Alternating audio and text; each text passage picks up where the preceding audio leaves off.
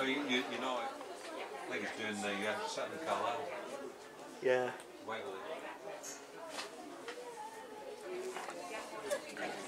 Inclusion is an important message as well.